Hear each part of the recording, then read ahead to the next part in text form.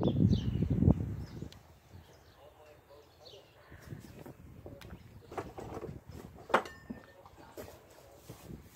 just wanted to clear the feet one more time real quick.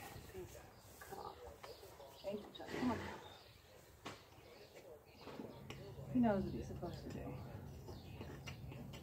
So what you're gonna do is clean around the, in the circle, like a half moon, and then you clean on either side of the frog. And you'll see how far you can dig out the dirt and the mud and the muck. It doesn't come out, it's supposed to be there.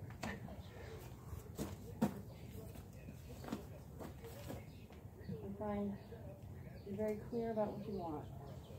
You wait. The horse will give it to. They're all about.